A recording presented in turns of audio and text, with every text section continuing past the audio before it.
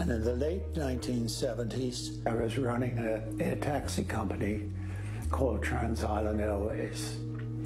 And then one day, a man walked up, beautifully dressed in a tan suit, well spoken, well groomed, handsome. He said his name was Joe Lehder, that he just bought Norman's Cay. Thank you, Mr. Lehder. Enjoy your flight. And he wanted me to take him there.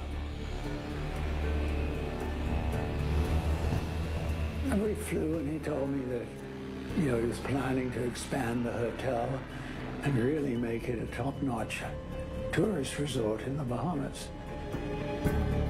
I, I believed him.